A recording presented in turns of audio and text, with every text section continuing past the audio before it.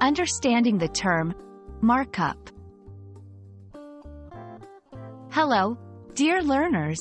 Today, we're diving into the English phrase markup. By the end of this video, you'll have a clear understanding of what this term means and how to use it. So let's jump right in. Markup is a term that can be used in different contexts, but its general meaning refers to the amount added to the cost price of goods to cover overheads and profit. For instance, if a shop buys an item for $10 and sells it for $12, the markup is $2. In the business and retail world, markup is crucial. When shop owners price their products, they often take into account various expenses such as rent, salaries, and other overheads. The markup ensures that all these expenses are covered, and there's a profit left over. So, if you ever wonder why something costs more than it seems it should, remember the term markup.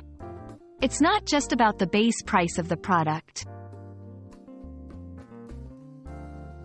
Markup also has another meaning in the world of technology. It refers to the code or syntax that is used to define different elements in digital documents. HTML, which stands for Hypertext Markup Language, is a perfect example.